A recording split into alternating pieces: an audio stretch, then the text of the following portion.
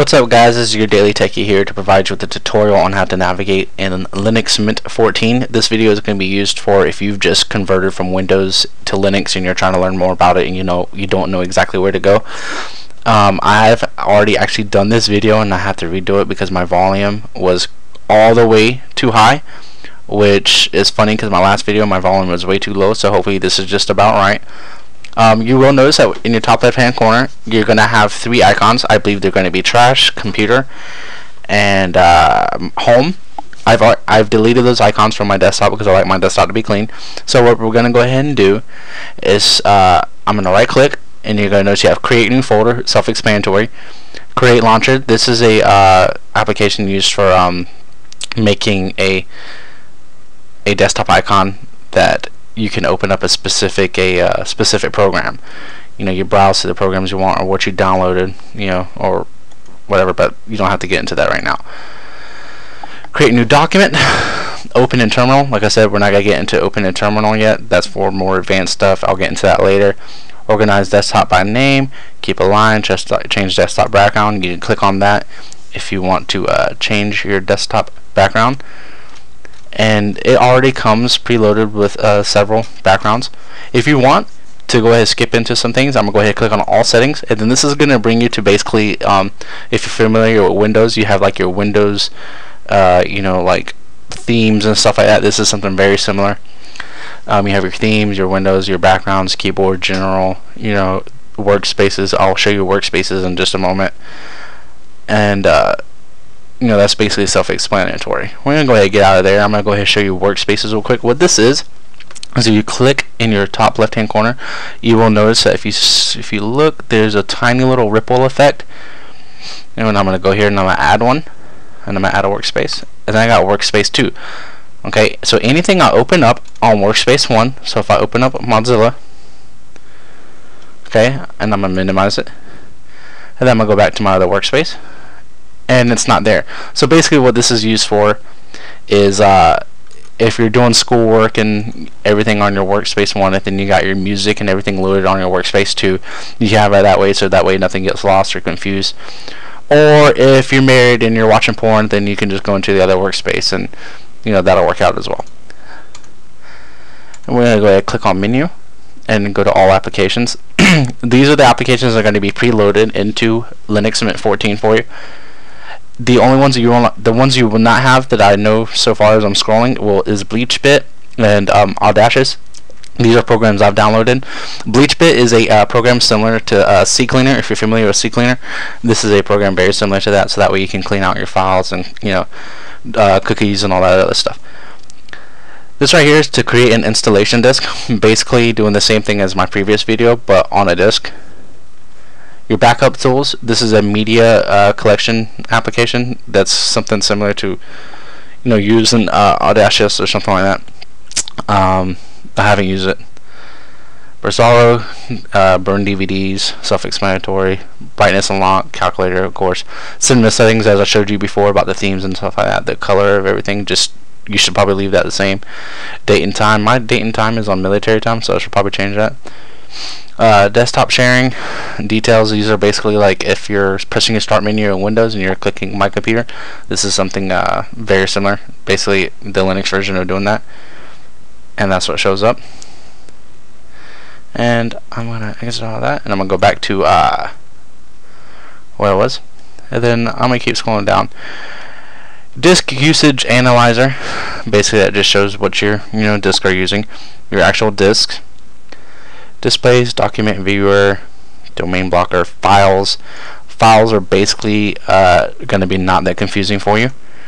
You got your, your your documents that you've made, your downloads, your music, everything like that already in there. Then if you look on your left, you your computer, which you're you're already home, desktop, file system, trash, self-explanatory. We're gonna get out of that go back to all applications. Anyway I keep going down. And files. You got your uh, Firefox web browser. Now Firefox comes loaded onto Linux Mint 14 this is already there so you don't have to download that. And I've downloaded this game called Frets on Fire. I'm gonna delete it because I'm not good at it. Uh, GIMP image editor, basically, you know, uh, edit images and stuff. It's really, uh, it, I'm, I'm not gonna say advanced, but it's not like using Paint. You know, you can do a lot more with it. I've actually used that on Windows. So if you're using Windows and you're just interested in Linux, you can actually download GIMP for free from the GIMP website. And gparted, gparted is a uh, device or a program used to partition and format like your hard drives and USB cards, USB sticks, or whatever the case is. And if my video sucks and you you know you don't like any of it, you can click on the help button and you can watch them, uh, you know, tutorials or what you know, read about Linux and whatever. IcedTea web control panel. I'm not even. I don't, I don't even know. Image viewer. Keyboard layout. Language support. LibreOffice is basically like using uh, OpenOffice or Microsoft Word. So if you're used to that, if you want to go ahead and click on that just so I can show you what it looks like. It's uh, it's actually pretty nice. You know, it's not too much of a transition at all from using Microsoft Word. And it still has, you know, everything like you would expect it to. We'll go ahead and exit out of that. Exit out of that. Okay. And go back to menu. All applications. I'm to scroll down. La di da da. Okay. And mouse to touch maps, movie player. Self explanatory. Login to create a new login, basically, you know, like Windows 7 users or Windows users and stuff like that. It's the same thing. You can make a new login for a different person. La da da da. And take a screenshot you can uh, you can screenshot like you could with your iPhone or iPad or whatever. You can do the same thing on your desktop with using that. Software Manager, this is really important. I'm going to go through that as soon as I finish up this. System Settings. Your Tomboy Notes, basically, you know, right, you click Start, Accessories Notes, same deal. UNetbootin is a device, as a program used for uh, converting your USB stick to uh, make it bootable and so is USB image writer. And XChat, XChat IRC is a uh, chat room that comes preloaded in here.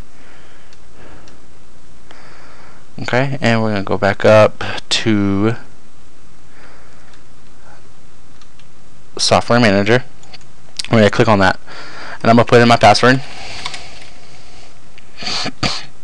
And basically what this is is uh, you know full of uh, programs and stuff for you to use and they're they're all free you know you got sound and video graphics office programming science and education fonts system tools accessories games featured all packages you click on featured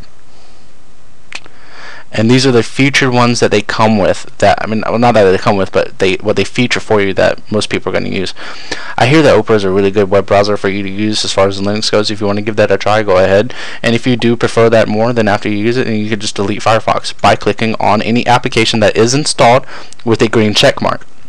So I'm going to click on that. And you can click uh, remove to remove any application that you don't want that's already uh, preloaded on to uh, Linux itself. So we're going to go ahead and get out of that. And I'm going to go back, make sure I didn't skip anything. And I'm I pretty much got everything covered. Now the terminal is, if you don't know what that means, that's basically like using your uh, your CMD on your your Windows uh, computer, but with a lot more things tied in together that you can do. You can actually remove applications from there, install applications. There's all kinds of stuff. I'll get into those later. Click out of that. If you look at your bottom right hand corner, if you're user, if you're uh, if you're used to Windows, like I said, you'll have Windows updates.